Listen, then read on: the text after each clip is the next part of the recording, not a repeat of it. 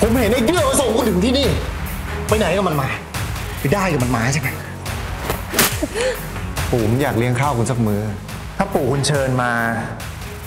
ผมว่าคงจะปฏิเสธไม่ได้ คุณอยากให้ฉันไปด้วยไหม ไปในฐานะแฟนได้ไหม